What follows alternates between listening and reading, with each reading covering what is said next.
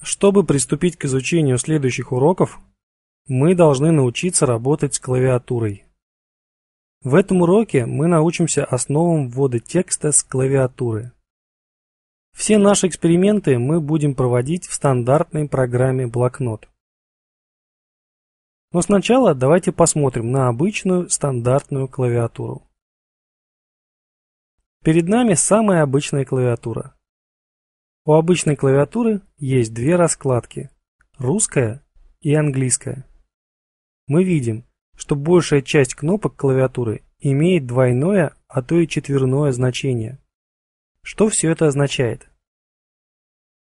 Во-первых, красными буквами и символами обозначается русская раскладка, черными – английская. Цветами в основном различаются буквы и некоторые символы. Цифры разделять цветами нет смысла. Те кнопки, которые имеют только один цвет, черный, будут одинаково выполнять свою функцию вне зависимости от того, какая раскладка у вас выбрана. На клавиатуре есть вспомогательные кнопки, такие как Ctrl, Alt, Shift.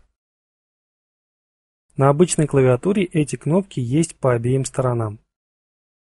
Самая длинная клавиша на клавиатуре – клавиша «Пробел». Самая толстая клавиша – клавиша Enter. Ну а теперь давайте перейдем от теории к практике. Запустим программу «Блокнот». Нажмем кнопку «Пуск», выбираем все программы, затем стандартные и щелкаем один раз левой кнопкой мыши по программе блокнот. Блокнот – это простейший текстовый редактор, в котором очень хорошо учиться работать с клавиатурой. Первое, на что мы обратим свое внимание, это на мигающий маркер. Это очень важный элемент – Всегда помните о нем. Где этот маркер установлен, там и будет вводиться текст. Это правило номер один, которое нам нужно усвоить. Правило номер два. Раскладка клавиатуры. То есть на каком языке вы хотите осуществлять ввод текста. На русском или на английском. В правом нижнем углу рабочего стола на панели задач есть маленькая панелька. Называется языковая панель. Она показывает текущую раскладку. RU значит русская. IN значит английская. Если у вас такой панельки нету, попробуйте установить ее. Нажмите правой кнопкой мыши на панели задач. Выберите панели инструментов и убедитесь, что установлена галочка напротив языковой панели. Если ее нет, щелкните на значение языковая панель. Она должна появиться. Итак, менять раскладку очень просто. Надо щелкнуть по языковой панели один раз левой кнопкой мыши и выбрать нужную раскладку, опять же щелчком левой кнопкой мыши. Менять раскладку можно с клавиатуры. Делается это нажатием сочетания клавиш Alt-Shift. То есть одновременным нажатием сразу двух кнопок Alt и Shift. Нажимать их можно по-разному, можно сразу две. Можно сначала одну, допустим Alt, и не отпуская ее, нажать вторую. Если у вас не получается, попробуйте сочетание клавиш Ctrl-Shift. И обязательно запомните это сочетание. Итак, давайте установим русскую раскладку. Сделайте это с помощью клавиатуры или мышкой. Добейтесь появления значения RU в языковой панели. Теперь давайте напишем следующий текст. Как все это печатать? Заглавные буквы получаются с нажатой кнопкой Shift. То есть зажимаем кнопку Shift, а потом нажимаем букву. Все очень просто. Но есть один маленький нюанс. На клавиатуре есть кнопка под названием Caps Lock.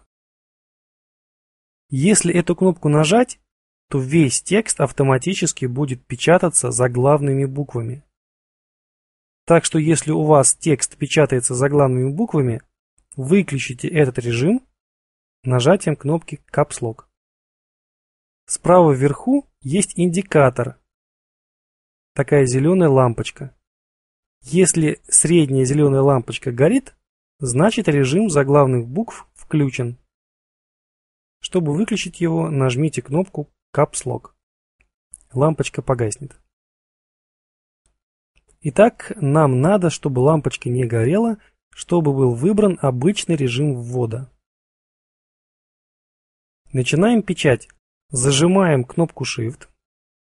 Не отпуская, нажимаем букву Z. Появляется заглавная буква Z. Дальше печатаем просто нажимая на буквы. Если вы хотите стереть букву, находящуюся слева от мигающего маркера, нажмите кнопку Backspace.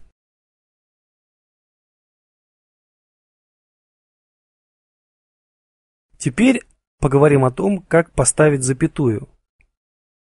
Обратите внимание вот на эту кнопку. Очень необычная кнопка с четырьмя символами. Давайте на примере этой кнопки Разберем общий принцип ввода символов с клавиатуры. Итак, эту кнопку можно поделить на четыре части, так как здесь изображено аж четыре символа, а кнопка всего одна. Как же нам получить желаемый символ? Во-первых, то, что написано слева черным цветом, это относится только к английской раскладке. Давайте сразу посмотрим на примере. Переключимся на английскую раскладку. Сделаем это мышкой или сочетанием клавиш Alt-Shift. И просто нажмем на эту кнопку. Напечатался знак «Косая черта». Мы видим этот знак в левом нижнем углу этой кнопки. Нижняя часть – это нижний регистр, то есть этот знак мы получаем простым нажатием на кнопку. А как же нам получить верхний символ, знак вопроса? Верхний символ это соответственно верхний регистр. Такие символы мы можем получить, используя все ту же кнопку Shift. Попробуем. Зажимаем Shift и нажимаем на эту же кнопку. Получается совсем другой символ, знак вопроса. Напоминаю, что сейчас у нас выбрана английская раскладка, и поэтому эта кнопка может выдать нам только эти два символа в левой части, косую черту и знак вопроса. Символы в правой части красного цвета будут доступны нам только в русской раскладке. В чем мы сейчас убедимся? Стираем эти знаки, нажав пару раз на кнопку Backspace. Переключаемся на русскую раскладку. Делаем это с помощью мышки или с помощью сочетанием клавиш на клавиатуре Alt-Shift. Теперь у нас установлена русская раскладка. И эта кнопка имеет два совершенно других значения, которые находятся справа. Это, соответственно, точка, нижний регистр и запятая, верхний регистр. Если мы просто нажмем на эту кнопку, поставится точка. Чтобы получить запятую, нужно использовать кнопку Shift. Зажимаем кнопку Shift и нажимаем на эту кнопку. Получаем запятую. Сейчас сотрем эти два знака, нажав кнопку Backspace. И нормально поставим запятую. По правилам набора текста запятая ставится сразу за словом, без всяких пробелов. Ставим. А вот уже после запятой пробел нужно поставить обязательно, нажимаем кнопку «Пробел». Теперь можно печатать дальше. Но перед тем, как печатать дальше, давайте научимся перемещаться по тексту и исправлять его, если нужно. Я специально сделал ошибку в слове «Здравствуйте». Исправить ее очень просто. Помните первое правило. Компьютер не знает, что именно вы хотите удалить или исправить.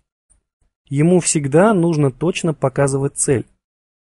Как это проявляется в данном случае? Всем здесь управляет этот мигающий маркер. Вы знаете, что печать идет там, где он установлен. Сейчас нам нужно вставить пропущенную букву «В». Можно, конечно, все удалить кнопкой Backspace и напечатать заново, но правильнее будет просто вставить букву. Для этого нам нужно переместить маркер в то место, где должна быть эта буква. Сделать это можно с помощью стрелок на клавиатуре или с помощью мышки, просто щелкнув в нужное место. Точно попасть мышкой бывает сложно, поэтому можно скорректировать положение с помощью стрелок. Итак, устанавливаем маркер в нужное место. И нажимаем букву В на клавиатуре. Затем двигаем маркер вправо до конца с помощью стрелки вправо. И продолжаем печать.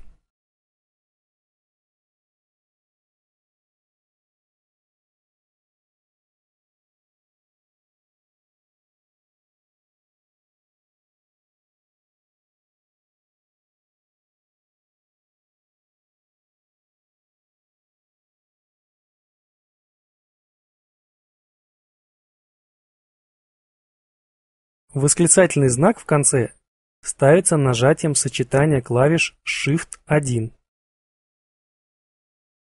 Что еще нам нужно знать на первом этапе? Клавиша Enter осуществляет перевод строки. Клавиша Delete удаляет знаки перед маркером.